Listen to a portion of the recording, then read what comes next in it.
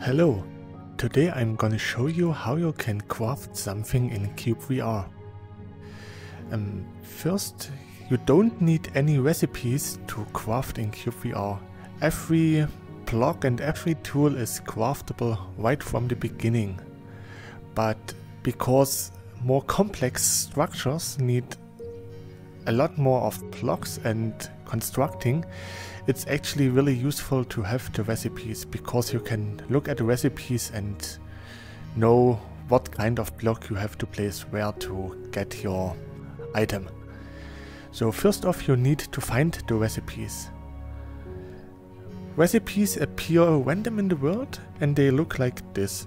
It's just a floating piece of paper with a question mark. As soon as you grab them, they will reveal what you will get. This, for example, was a stone shovel. So, how can we access the recipe slot? It's simple, use your left um, controller and touch the touchpad to open the inventory. On the bottom of the inventory you have four tabs called Inventory, Crafting Recipes, Tutorial and Settings. We just click on Crafting Recipes. Here you can see all the recipes you have unlocked and are still locked for you. Like we now have a stone axe, the stone shovel that we just discovered, a stone pickaxe and a torch. If you download a block from the Steam Workshop, these blocks and recipes will always be unlocked. So you don't have to worry about. So how does a recipe look? You just go to the item you want to craft, point with your finger on it, then it shows you the name of it, in this case stone shovel, then you press trigger.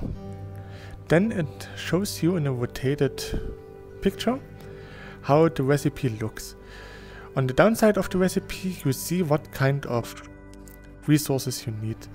When you hover your pointer over the item you can see what kind of item it is. In this case we need 4 wood. Any kind of wood is okay, but it must be the same type. And we need 1 stone. So now to the crafting.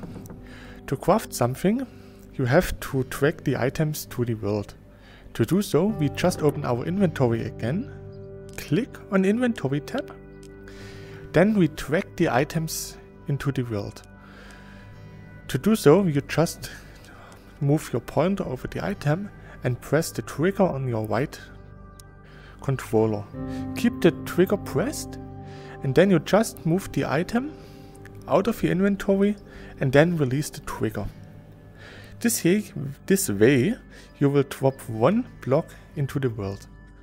If you want to drop multiple blocks into the world, just go over the item, press the trigger button again and now when the item is in the world, don't release the trigger button, but press down on your right touchpad.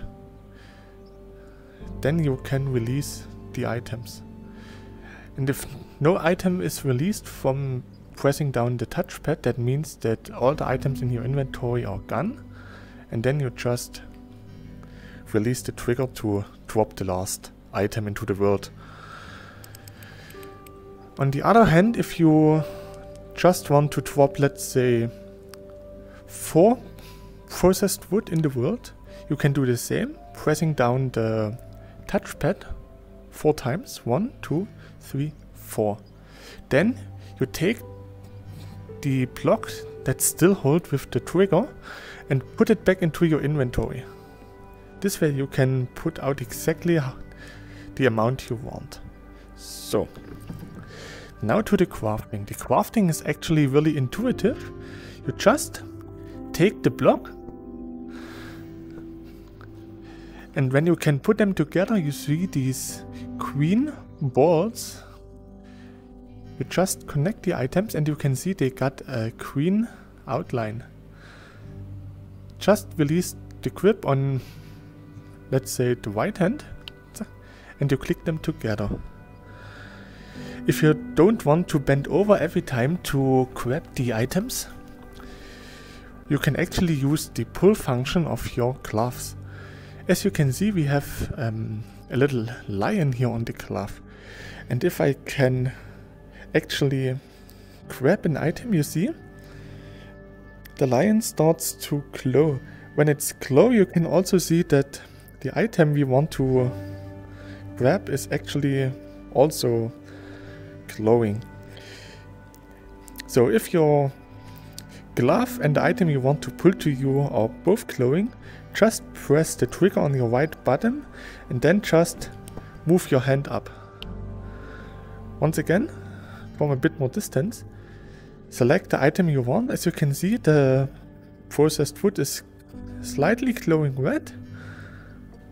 Press the trigger button, now you have even red sparks and you can see that there's a red line connecting the block to us. And then you just have to pull your hand to you to get the block. You can actually play around a bit. It's really nice. So. So we just completed the recipe. We put together 4 wood and 1 stone. That should give us the uh, stone shovel. So because that doesn't look like a stone shovel, it's just glowing green, that means that we actually completed the recipe. If I remove the stone, the recipe is incomplete. Now the recipe is complete. So to make this complete recipe into the tool, we have to put it into our inventory. To do so, we just press the A button on the right controller to activate our bucket. Then we put the tool inside our bucket and that's it the tool appears inside our inventory. Now we can use the tool if we want to. I hope that was helpful for you. Thanks for watching and bye!